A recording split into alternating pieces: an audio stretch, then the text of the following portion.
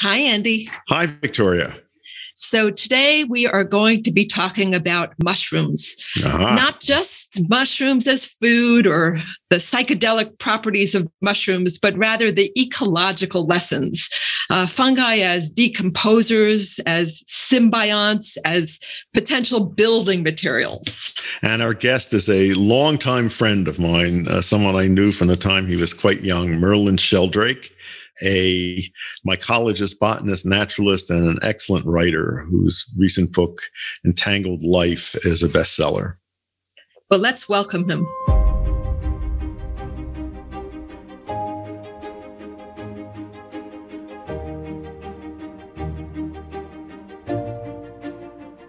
Merlin Sheldrake is a biologist and the best selling author of Entangled Life How Fungi Make Our world, Change Our Minds, and Shape Our Futures. He received a PhD in tropical ecology from Cambridge University. Merlin is a brewer and a fermenter, and he's fascinated by the relationships that arise between humans and other organisms. Welcome, Merlin. Thanks, Victoria. It's great to be here. I want to start with then a concept of symbiosis, which is a major theme of your book. You remind us that all life is interdependent, which is really an ecological perspective. And I'm hoping you can give some examples. There are so many examples, and we can think of ourselves as symbiotic organisms. Um, I'm sure you've discussed the microbiome on, on your podcast uh, in past episodes. And and we contain um, many, many microbes, more microbial cells than our own cells, bacterial cells, fungal cells. And we wouldn't be able to grow and reproduce and behave as we do without these organisms that live in and on us. Uh, and so you can think of us as uh, as a collective, as a, as a kind of ecosystem. But this runs all the way down.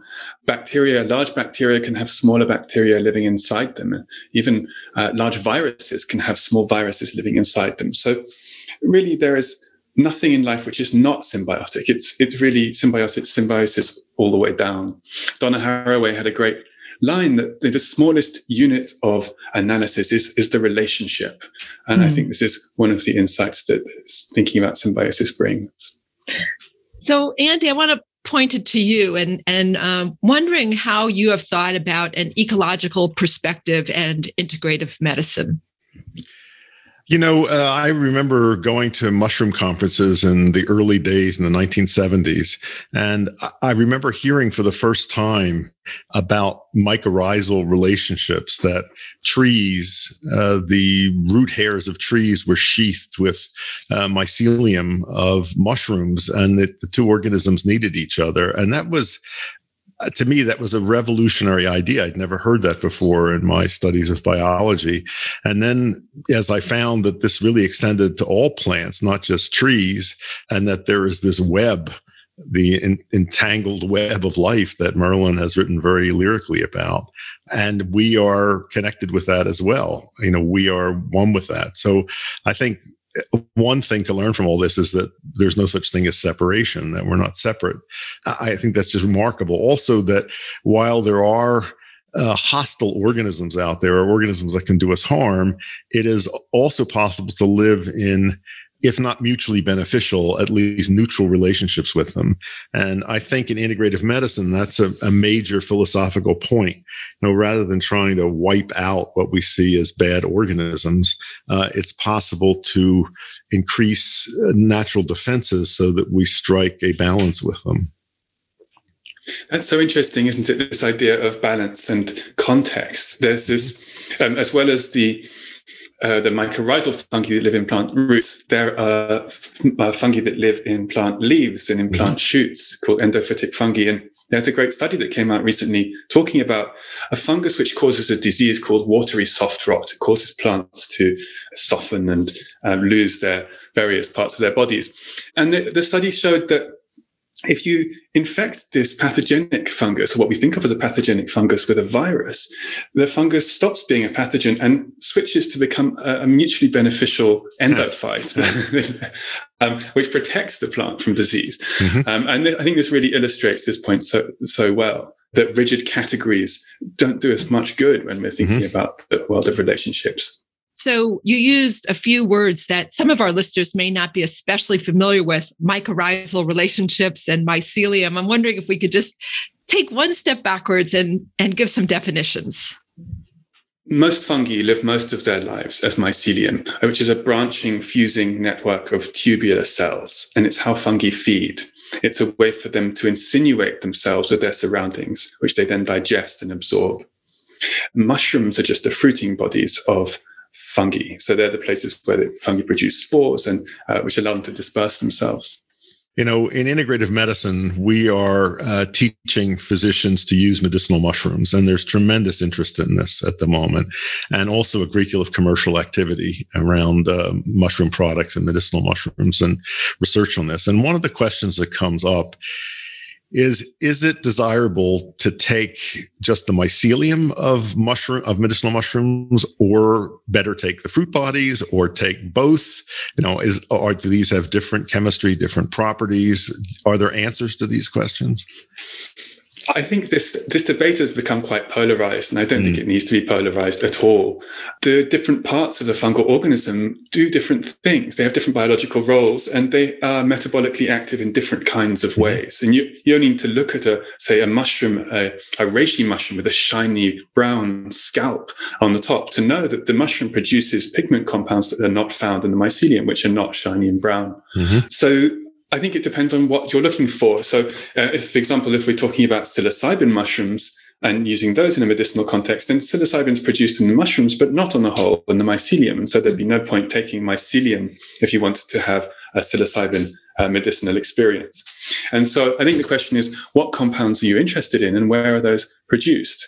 and that will vary from mushroom to mushroom mm-hmm. and, and from complaint to complaint because different fractions of bioactive compounds are produced in uh, different relations in the mycelium and the fruit body. So I think it's an it depends answer. Mm-hmm. Um, so I want to pull us now back out a little bit. Andy, I've sometimes heard you say that all countries are either mycophilic, meaning they love mushrooms, or my- mycophobic, meaning they fear mushrooms. And why is that? I mean, we're not particularly that way about plants, although I guess we have some uh, history with plants as well. Well, first of all, I didn't say that, Victoria. I was quoting Gordon Wasson, who was uh, the first person, the person ah. who rediscovered the use of psilocybin mushrooms in mm-hmm. Mexico, and wrote a monumental work called "Mushrooms, Russia, and History." And he proposed that all cultures can be divided into mycophilic and mycophobic.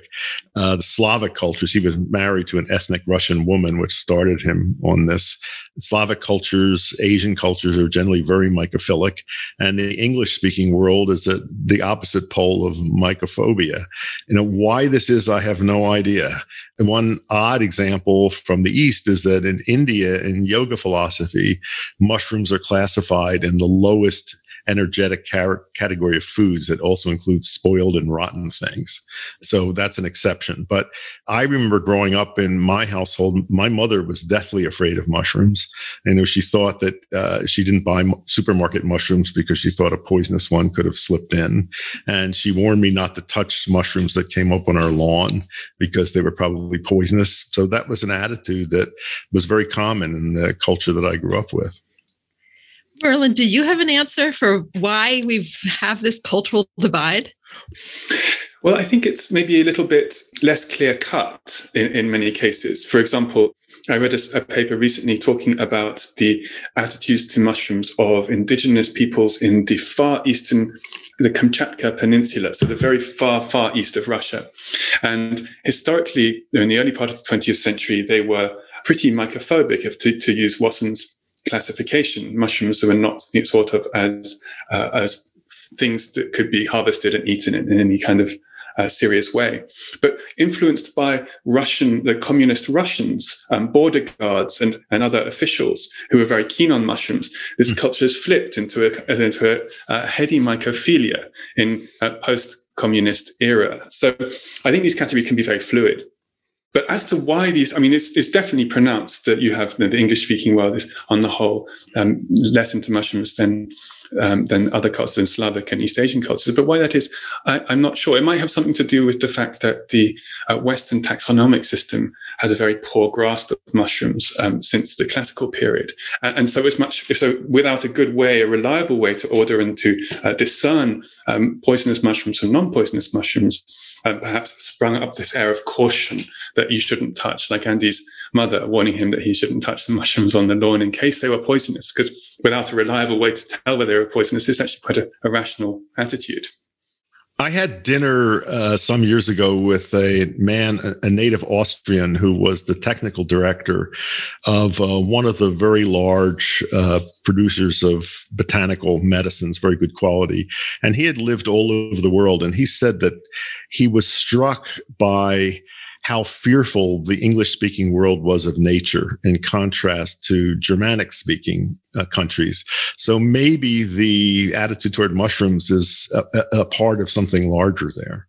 Yeah, um, and it might also be to do with the death and decay, the association yep. of mm-hmm. mushrooms with death and decay, and the need for certain human cultures to to elevate themselves above those and they appear out of nowhere. You know, it's hard to understand how mushrooms grow, and that must have been very mysterious and puzzling to people, and magical, and maybe also caused fear and wonder. Mm-hmm. So, the death and decay is also associated with something that is now being seen as one of the great talents of uh, mushrooms, which is uh, decomposition and the hope that some species may actually be the solution for toxic waste that we actually have no idea how to break down and, and make safe again. What do you think is the full potential for fungi in this uh, particular arena? I think there's huge potential. Uh, and this has been demonstrated in countless studies that have shown fungi to have powerful appetites for all sorts of compounds that we think of as, as pollutants.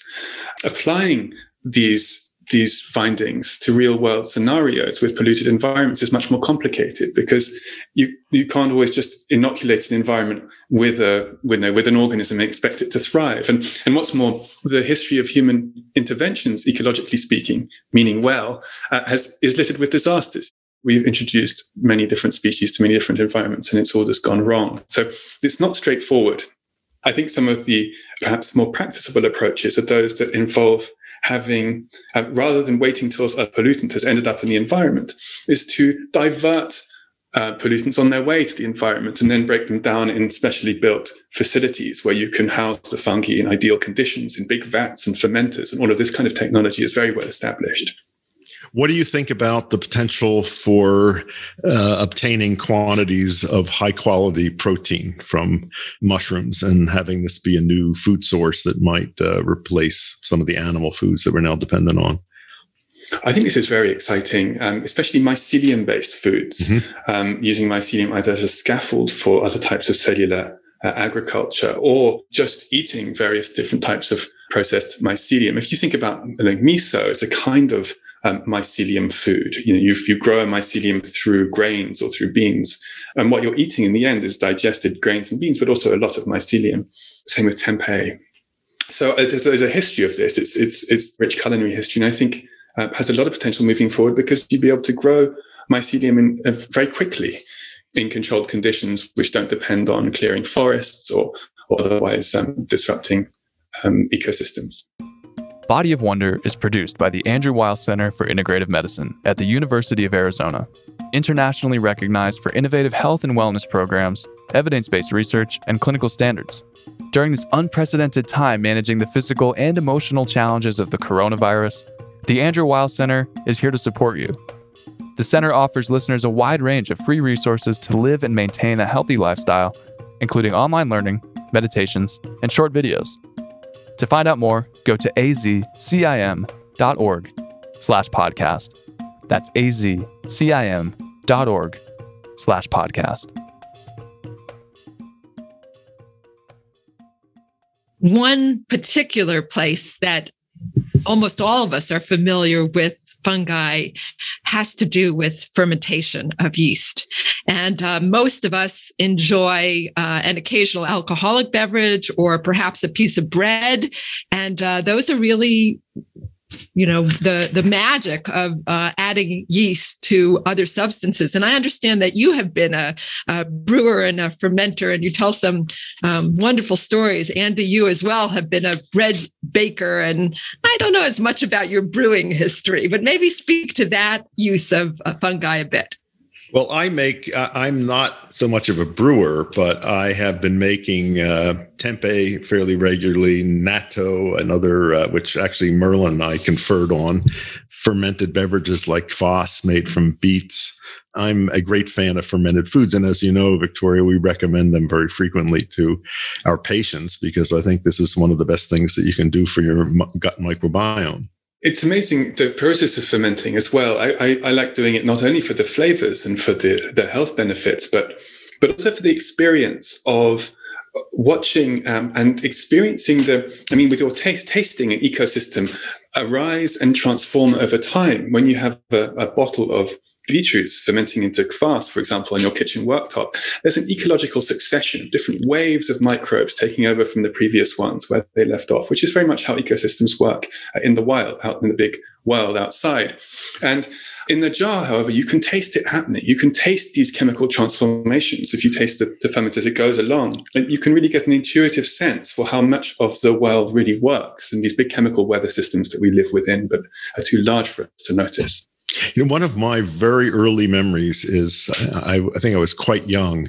Occasionally, my mother and grandmother would make raised donuts, and they used fresh cake yeast. And I remember the smell of that uh, when it was dissolved and began to work. I found so attractive. It was one of the most alluring aromas. I, I was just completely drawn to that it's a, it's a, also it's amazing in the natural world how um, how yeasts play a part in um, pollination stories. There's a type of shrew called the Malaysian tree shrew, which is attracted to the fermenting um, sugary nectar in palm flowers, and the smell of this fermentation it actually attracts the shrews to their flowers. And the f- shrews have a way of um, drinking this alcohol without getting terribly yeah. drunk. They, they have special turbocharged enzymes. but nonetheless, you know, these, these aromas produced by the yeast actually are folded into the life cycles of, of many organisms. Mm-hmm. So we are taping this during the pandemic. And apparently, there has been this enormous increase in interest in growing mushrooms. And um, recently, the New York Times quoted a supplier in Portland who said the demand had increased 400% over the past year. So perhaps the US is moving from being mycophobic to mycophilic. What, what would account for that? I think mushrooms are really having a moment, um, and fungi more fungi more generally. And I think that in lockdown, people have been taking on all sorts of new projects, like baking, for example, another fungal, um, another fungal enterprise, of course. Um, but the mushroom growing is it's so amazing when you grow mushrooms. You see them grow and they grow so fast. I think there's a, there's a fantastic thrill there in seeing uh, this transformation taking place from a block of mycelium growing on waste material into these forms that just arise. You can almost see them grow. You know, I remember um, growing mushrooms when I was a child and I would go to bed and there'd be, uh, you know, a certain size. And then I'd wake up in the morning and they've doubled in size, more or less. Andy, why do you think that fungi are having such a moment? Well, you know, one reason certainly has to do with psilocybin mushrooms, and uh, there certainly has an incredible resurgence of interest in them. Everywhere that I have gone to speak in the past, I'd say in the past three years, no matter what the subject, whether it's about nutrition, healthy aging, integrative medicine, I get questions from all sorts of audiences about psilocybin and how can I do it and what about microdosing and what are the benefits and uh, it's phenomenal to me how this has penetrated the culture. I assume that's the same in the UK and uh, and in other countries now. Mm-hmm. Yeah, there's a massive, massive boom, driven, of course, in part by these studies. Most studies into new phenomena don't tend to generate this much excitement and fascination. So there's something else to it as well. Well, I think it, it, it is penetrating mainstream culture in a remarkable way. And I must say, I, I feel very good about that. You know, maybe this is specifically the antidote to the toxicity of the cult of the dominant culture uh, and may bring about, you know, very good change. I know you have a long history of mushroom hunting uh, and fermenting, but what's your favorite way to to stay in contact with the fungal world right now? Well, I'm a, li- a bit limited living in the Sonoran Desert, you know, which is not the best habitat for mushrooms. We get uh, good fruitings of mushrooms on top of the Santa Catalina Mountains in the summer rains, and in when there are very heavy rains, which there have not been for a while, the desert floor fruits with some very unusual species like stalk falls. So whenever I can be in contact with those, uh, that makes me very happy. I've always loved mushroom hunting in the Pacific Northwest, uh, you know, which is a wonderful habitat there are more and more people cultivating edible species, which is a delight. Uh, I had some very good uh, fresh lion's mane mushrooms from a local cultivator a couple of nights ago. So I eat them whenever I can. I consume medicinal mushrooms in various forms uh, because I think they're doing good things for my immunity and, and body defenses and mental function. Andy, you brought up lion's mane, which is a mushroom that you commonly recommend to people who are worried about their brains. Can you maybe give an integrative medicine tip to our listeners about the value of lion's mane mushroom? Well, it has a unique nerve growth factor in it, and there is some good research uh, suggesting that this benefits uh, neurological health and cognitive function. Uh, it is perfectly safe. It has no toxicity. It's something that can, it's also a delicious edible mushroom. Uh, it can be cultivated. There are many lion's mane products out there. Um, and it is one that I commonly recommend to people. And it's an example in what fills a gap that we don't have anything for in conventional medicine. Uh, so people with uh, neuropathies, with uh, cognitive deficits are worried about that. I think it's a very good remedy to take, and there's no downside to it. And it's delicious. And it's delicious. It. yeah, it's great. Your book title speaks to the possibility of changing our minds. And you give so many different reasons from uh, the relational qualities to symbiosis to how we view intelligence. But presumably, you're also thinking about how psychedelics change one's mind. Definitely, yeah. That was um, that's the most literal level, I think they have powerful impacts on cultures know, more generally. And you can see that in a big way, say in the 1950s, moving through into the 60s, as psychedelics became um, taken in more mainstream ways. And those it's the huge changes that those countercultural movements brought about. And yet, we know that now some of the interest um, is in folks who are not necessarily in the countercultural, but very much in the mainstream, including uh, Silicon Valley types and people at the end of life uh, who want help as they face their own death.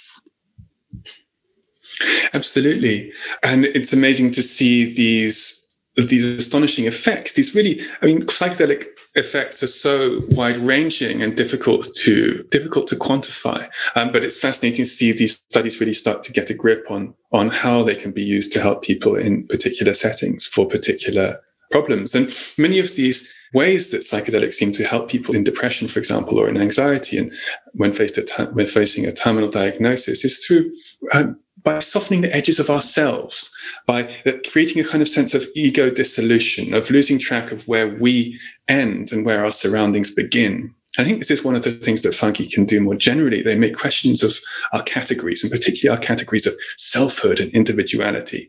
And I think this tells us something about the problems that we have that arise in our culture, when in the you know, various different cultures, when we think about things as separated from each other by neat boundaries, by distinct uh, edges, by hard edges.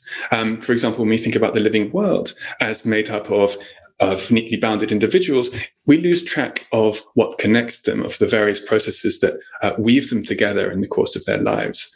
Uh, so I think this speaks to this much bigger issue at play right now, a kind of medicine that that I think mm-hmm. our culture needs a, a softening. A, can we grow the boundaries of ourselves? That's beautifully said.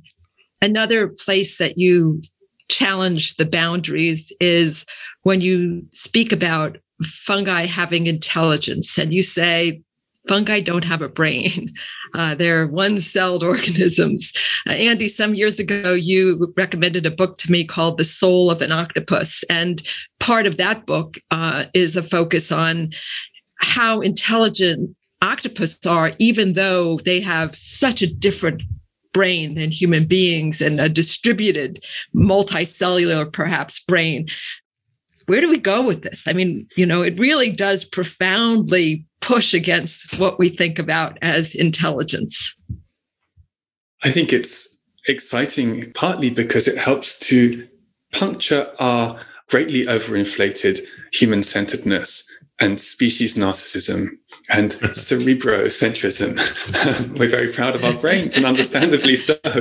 But um, but I think it leads us into trouble where when we place ourselves at the top of the intelligence rankings. Um, we create hierarchies with us invariably, you know, sitting somewhere at the top, and we use ourselves as yardsticks by which to judge the abilities and and, and possibilities uh, faced by other organisms.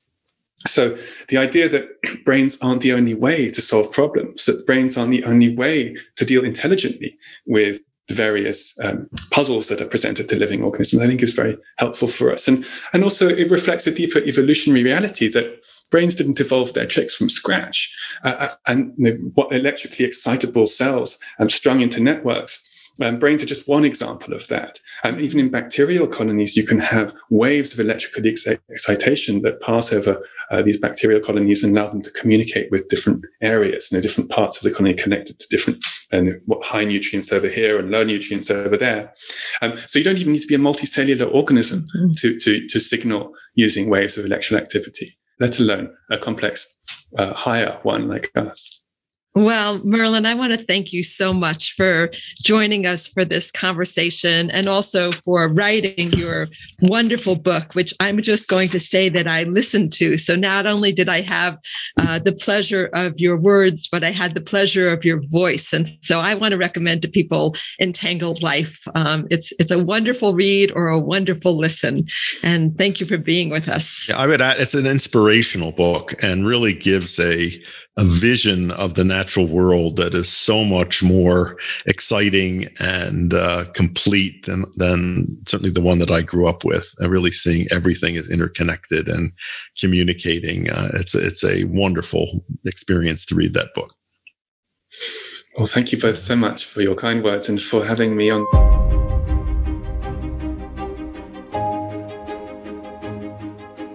Listeners, this is Dr. Victoria Maizes. We would love for you to send us your questions for Andy, myself, or for our guests.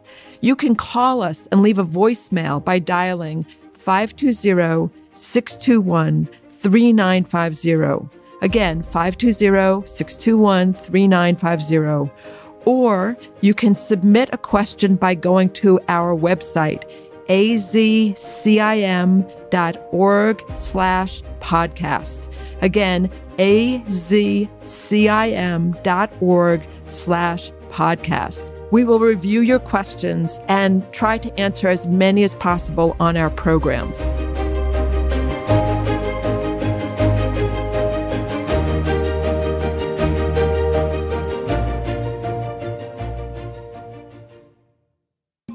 Learn more about topics featured on the Body of Wonder podcast and how to apply them to your everyday health with My Wellness Coach a free mobile app from the Andrew Weil Center for Integrative Medicine.